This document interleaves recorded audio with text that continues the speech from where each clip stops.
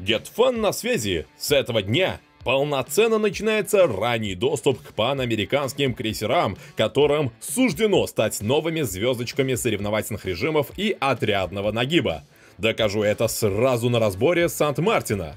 А от вас попрошу только лишь прожать лайк за актуальный и горячий контент о новинках. Начнем с того, что Мартин это копия Вустера, но при этом совершенно иными ощущениями в игре. Лучше всего это показывается на живучести. Ведь все мы успели привыкнуть к тому, что легкие крейсера танкуют фокус недолго и быстро уходят в порт из-за малого запаса ХП, тонкой брони и уязвимой цитадели. Мартин на фоне Вустера тут выглядит еще более уязвимым в порту, так как у него и ПТЗ слабее, и дальняя аура ПВО хуже, из-за чего появляется даже уязвимость от авиации.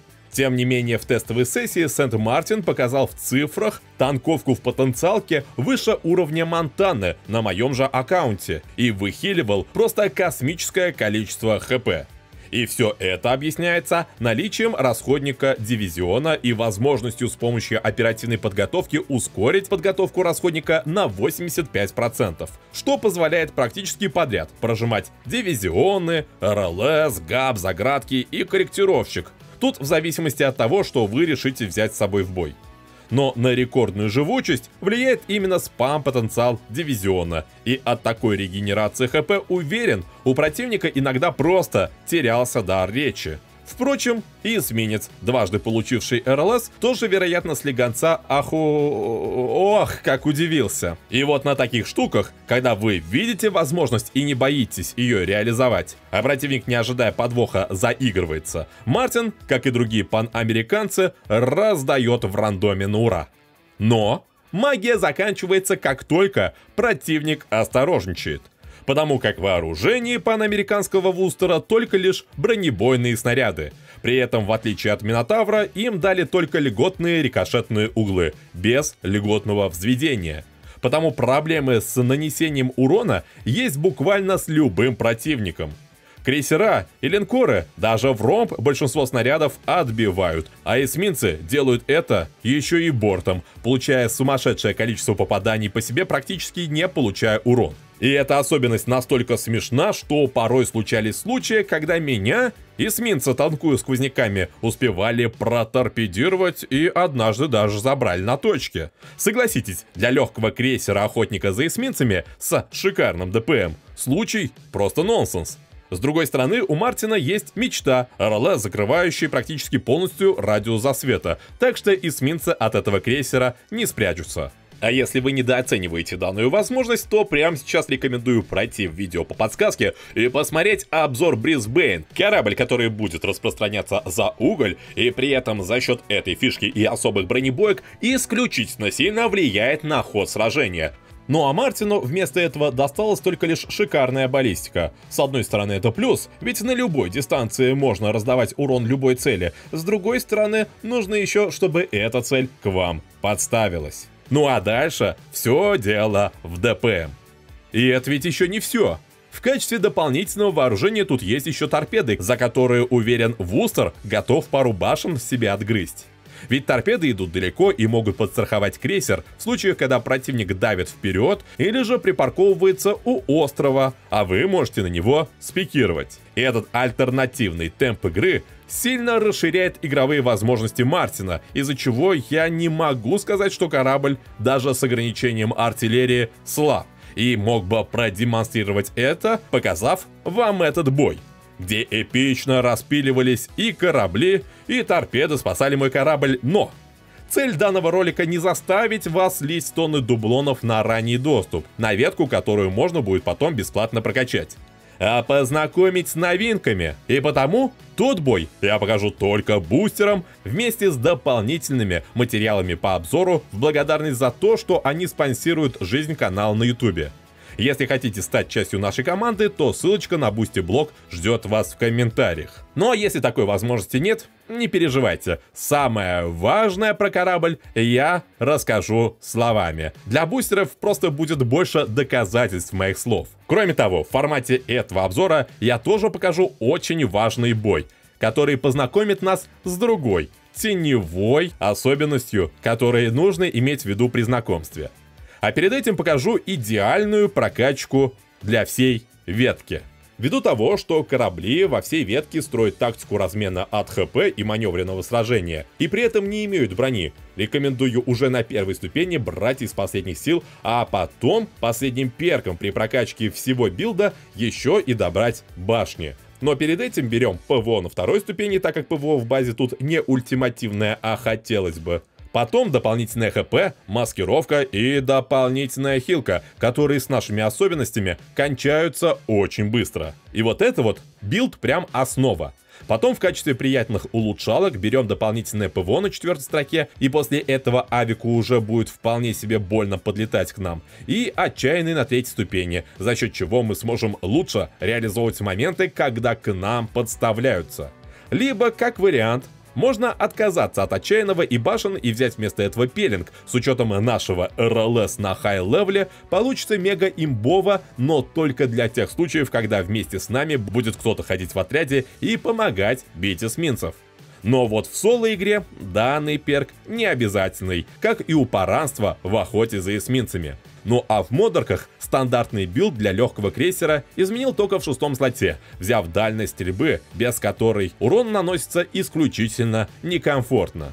Настолько, что до 9 уровня мне даже приходилось отказываться от РЛС в пользу корректировщика. Ну а теперь пошлите посмотрим в бою, на что же способен данный корабль. Но перед этим попрошу вас прожать лайк. Вам не сложно и не убудет от вас. А вот мне очень сильно поможет делать быстро подобные обзоры новинок, чтобы знакомить вас с кораблями, как только они появляются в рандоме. И сразу выкладывать этот ролик в общий доступ. Панамериканцы, друзья, это, конечно, что-то с чем-то.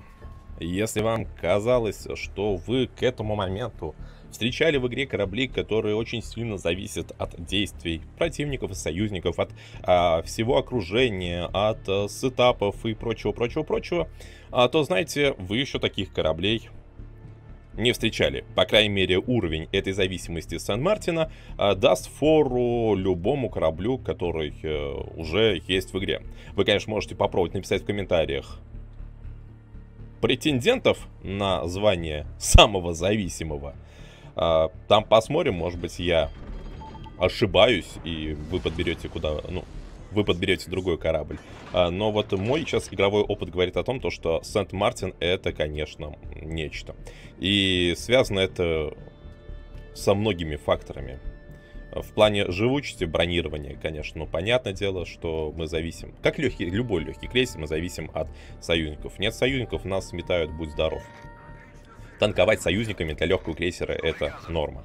А, но это пол беды. А, зависимость тут еще есть нанесение урона. В то самое время, как и многие РЛС, а, крейсера, посвятив себе вот эсминцы Ямагири, Даларна или вот 44-го сейчас около точки, куда, кстати, я иду, смогут соло себе за... организовать фраг, то Сент-Мартин себе такого позволить не может. Нет-нет-нет.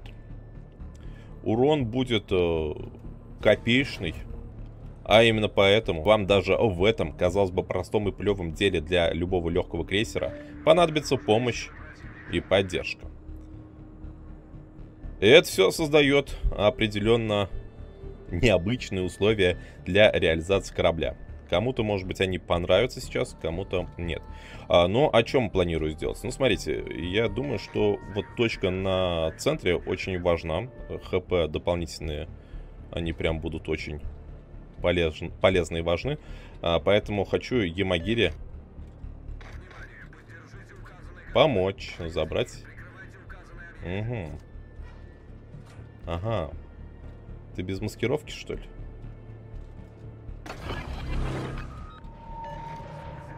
Судя по всему.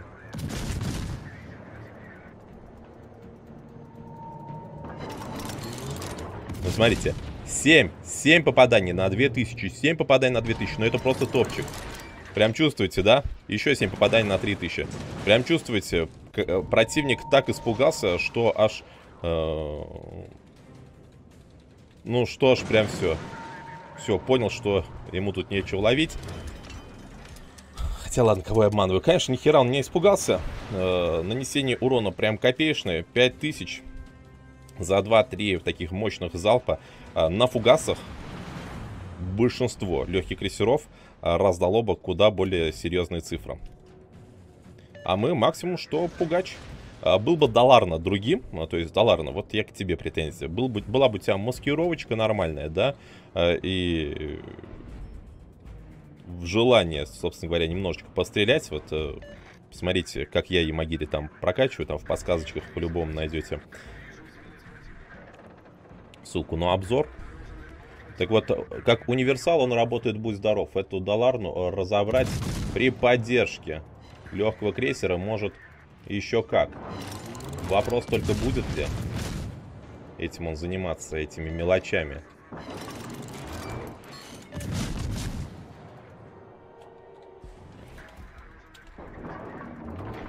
Ну все, блин. Как-то так. Но, откровенно говоря, нет, Ямагири. С тобой я дальше не пойду ни в какую атаку. Был бы союзник у нас в отряде, там, не знаю, какой-то вот Ямагири, с которым мы пошли в бой. Мы бы Даларну забрали и точку бы тоже забрали. Так что давайте поищем другого союзника, от которого мы сможем построить э, бой. Или попробуем подамажить сторону Монтаны. Чувствует он себя максимально расслабленно.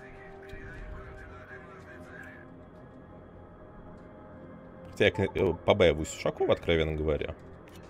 Но кто знает, может быть...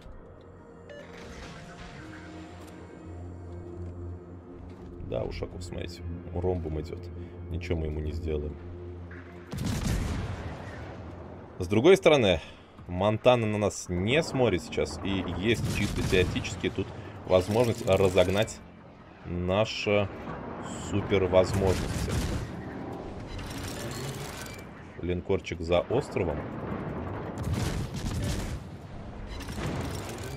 Ох, это было больно.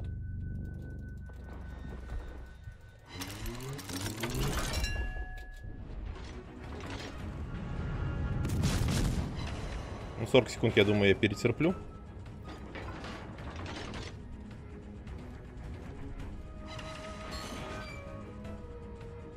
Не вижу острой необходимости траты сейчас супер своих возможностей.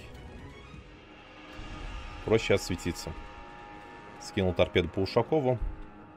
И пропадаю за света. Пропадаю за света, говорю.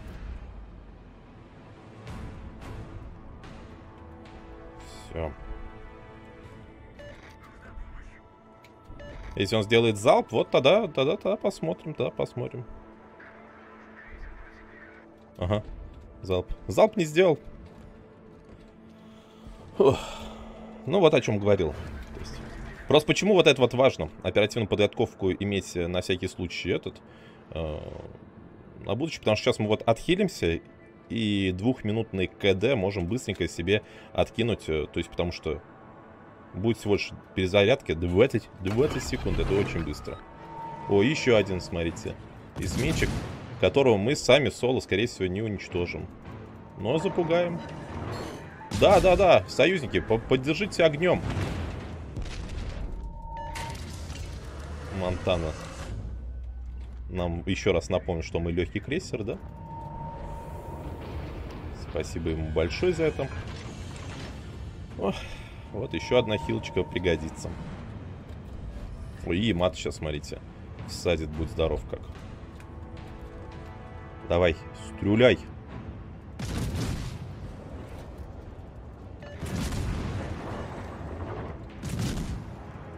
Мы будем на тебя опять разгонять супер возможности. Разгон эти, кстати, супер возможности, это еще капец какой гемор. То есть вот пока что я сейчас, по-моему, не демонстрировал еще, как, она, как они быстро, вот этот вот набор превосходства спадает. Но вот два залпа мимо, два залпа умудримся промахнуться. И считайте все, придется начинать с нуля.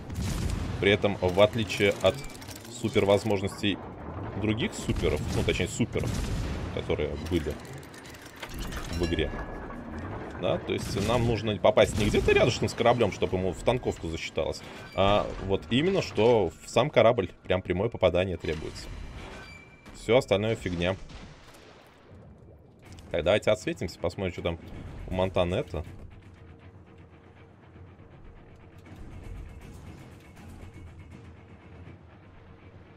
Хотя, кстати, что там Монтана? Они сейчас с Ушаковым затаранятся. Хотя зря он, зря он таранится. Не, не таранится.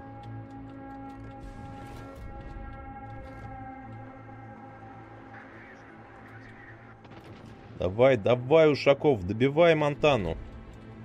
А пока к тундре он. Доковыляем.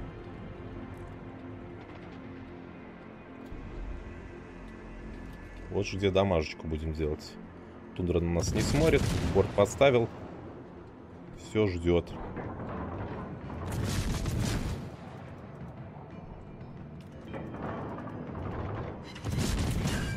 Ну и смотрите, в принципе-то, да, неплохо. По 5000 залпа это не самый... Ну, не 5000, не всегда по 5000, но возможность там по 5000 сдавать существует, если мы там пристреляемся в настройки какие-нибудь. Для легкого крейсера с его перезарядкой это даже немножечко супер классно, да? С другой стороны, с другой стороны, а, кстати, был бы на его месте крейсер, может быть, еще и цитаделями раздали.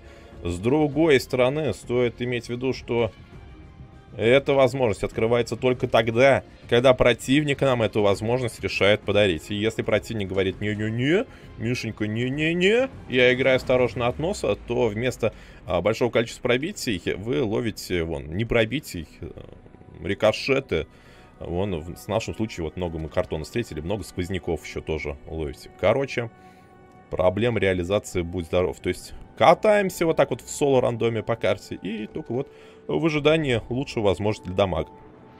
Пойду сейчас, кстати, точку А хочу э, попробовать, потому что нам... Мне что-то как-то не улыбается перспектива, знаете, потерять э, центральную точку. Думаю, она такая себе. Будем ее дефить. Ну, кстати, по пути можно вон тундрицу раздать. Мы теперь поближе. Угу. О, кстати. Тундрец сейчас будет носом к нам идти, судя по всему. Да ладно. Через настройки, я думаю, попадем и добьем. 5000. Крополя. Крохи. Лишь бы изюма на нас не обратил внимания. О! Привет, изюм.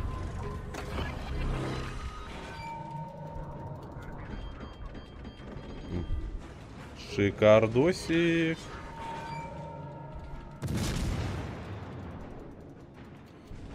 А вот 9 тысяч я, может, быстро не потанкую. Не-не-не.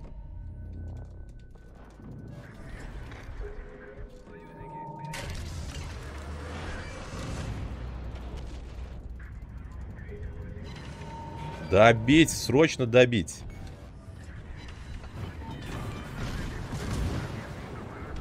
Десять секунд, терпи. Миша, 10 секунд. 9. 8, 7. Дивизион, дивизион, срочно дивизион. Секунда, последняя. Пошел, пошел контакт. Отсвечивайся.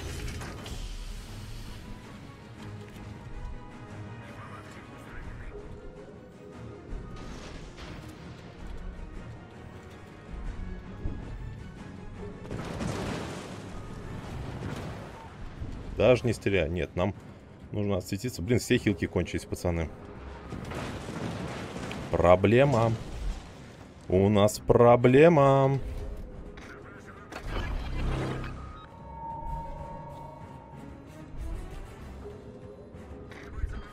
Клаус, ты охерел, что ли? а, блин, он отступает, смотрите, он отступает.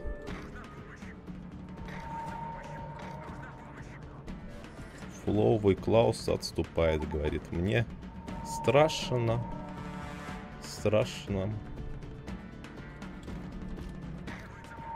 Изюм фуловый тоже. К синей линии. И вот от таких, господа, союзников мы, собственно говоря, и зависим. А вы что думали? А вы что думали? Легко, что ли? на пан-американца тащить. Ни в коем случае.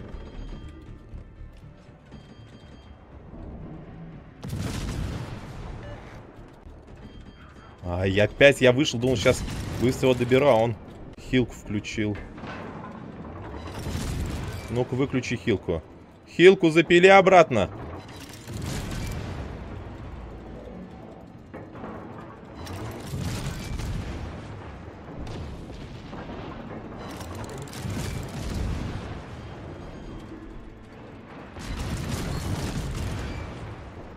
Давайте, добиваем его, добиваем.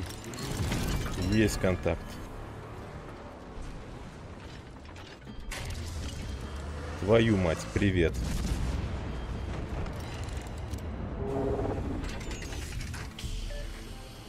Ой, наверное, лучший, друзья, бой для демонстрации сильных и слабых сторон Сент-Мартина и других пан-американцев.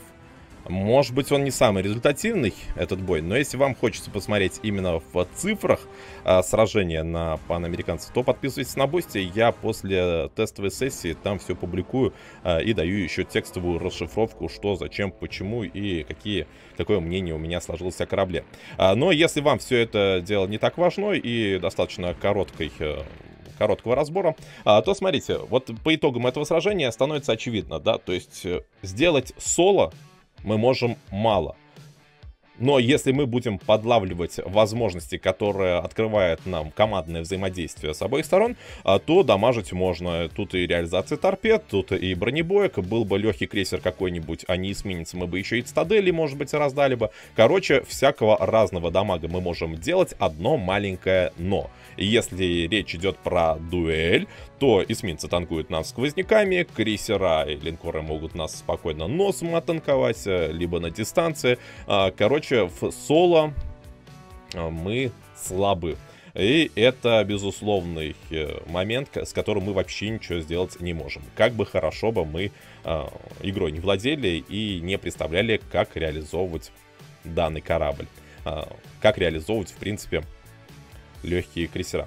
Тем не менее, сказать, что Сент-Мартин плохой и другие панамериканцы это тоже мусор, шлак, который вообще нафиг не нужен, я не могу. Потому что в игре есть, существует э, так или иначе отрядное взаимодействие. Если у вас есть клан и вы поигрываете с корешами э, вечерком вы, я думаю, меня поймете. А, и вот такой уровень возможностей э, саппорта, который открывает Сент-Мартин, он ни на что не похож, и поэтому в любом отряде этому кораблю будут рады, и я более чем уверен, Сент-Мартин будет звездочкой на ближайших э, ранговых э, играх, а, либо на ну, ранговых возможно, но вот на турнирах стопудово, где будет точно поддержка и где каждый момент подсвета или агрессии, он будет скооперирован в командном взаимодействии.